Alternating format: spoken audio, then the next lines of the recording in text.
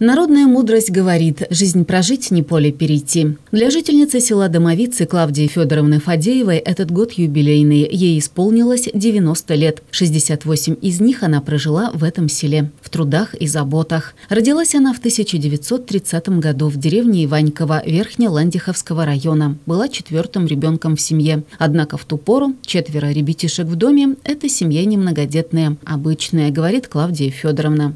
Была жизнь темная да слезная, стала светлая колхозная, говорили в то время. В колхоз их семья отдала всю скотину и мельницу, на которой все же дед продолжал работу. Отца, как кулака, сослали на один год на Урал, освободили после того, как он написал письмо Михаилу Калинину, всесоюзному старости. Когда началась война, ей было 12 лет. Она пошла работать к деду на мельницу, затем трудилась в полевых бригадах. Конечно, подросткам в те тяжелые годы, заменившим взрослых, было нелегко в бригаде работала, а в бригаде на всех работах.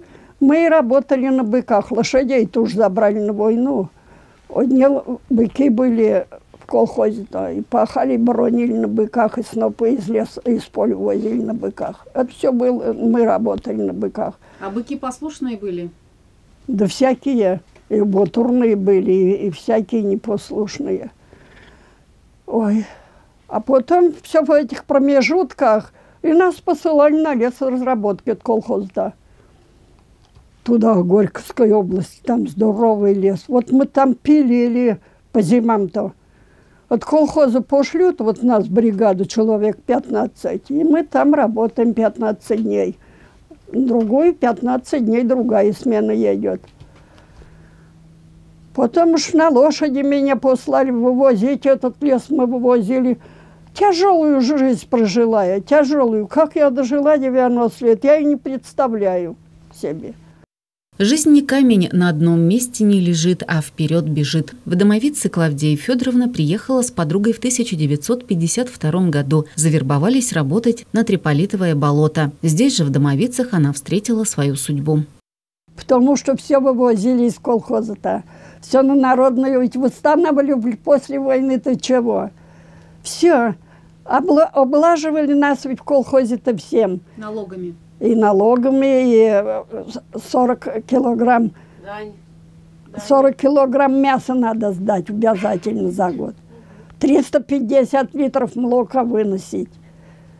Еще что, 50 штук яиц, килограмм шерсти. Нет у тебя, покупай, а в государство неси. Это все было? Было. Вот мы и уехали из колхоза-то. Но это по доброй воле уехали, потому что мы поехали за сеном, а нам председатель сельсовета остановил, зимой поехали. Остановил, кричит, стойте и пойдите сюда, в сельсовет, в контору. -то. Мы пришли. Тут вот представитель приехал с Триполитова-то. Приехал, кто желает, вот на, на Триполитово. Болото такое вот рядом, вот здесь недалеко. Домовец-то недалеко. Он, мы с ней вышли на мост, она говорит, давай заключим договор. Хоть паспорт дадут, уедем из колхоза. Мы договорились, взошли и говорим, мы согласны. По доброй воле мы заключили договор. Когда приехали семь, то я пришла домой-то. Рассказываю, говорю, я договор заключила. Мама говорит, ты что, с ума сошла на Триполитов? Да кто на Триполитов едет, самый последний человек? Ты что, не поедешь никуда? Я говорю, а как же? Никак не поедешь никуда. Ну, не поедешь и не поедешь. А время-то пришло, он приехал, вот этот представитель по нас собирать по, по району на машину. Мы в село тут у нас, мы центральный всех собирать, а мы не пошли. Так он оставил всех в клубе там на мы тут, что собрал, что договор кто заключал. К нам пришел в деревню и сказал, а на вас подам в суд. А мы забоялись, в тюрьму посадят, надо ехать. Мы поехали, вот сюда приехали. Сюда приехали, отработали год вот с этим паспортом, с колхозным. Пошли менять-то паспорта-то, а нам их опять на колхозные только меняют. А чего делать-то? Да давай еще поедем раз. Мы еще приехали на лето. А хватит на мое счастье, приехал Саша из армии, за которого я замуж вышла.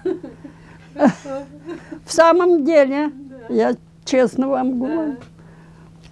В столовую мы пришли, обедаем, его не пришли, как раз из армии его не пришли, с Костей вот Фадеевым. И пришли обедать, устраиваться, не на работу пришли сюда, на Триполитово-то.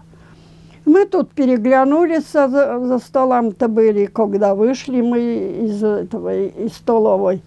Я думаю себе, а где я этого вот парня видела? И говорю Шурке, с которым мы приехали, я говорю, Шурк, а вот этого парня я вот не видела. Он надо перестань ты. А мы с ей гадали на видение. И мне приснился, я говорю, слушай, я ей тогда рассказывала, говорю, идет в комбинзоне, какой-то ключ вот такой большой на плече. Я, говорю, видела этого парня. Помнишь, говорю, я тебе говорила? Она, да ладно. И в самом деле они устроились, и в комбинзоне они работают, и с таким ключом он был. Я говорю, да вот, а, тебе и судьба моя тут. Так оно и вышло. Вот мы с ним встретились, он стал отсюда ко мне туда ходить, то на работу он ходил, а вечером ко мне туда придет. Вот и, и догулялись до того, что он сказал, давай же поженимся и все. А свадьбы никакой не было. Он говорит, поедем к родителям. Пришли сюда. Сестра у него жила уже в Иванове, Галя. Они приехали с мужем, посидели за столом разговорились, и все, она говорит, все, оставайся у нас и, и будешь жить здесь. Это был уже 54 год.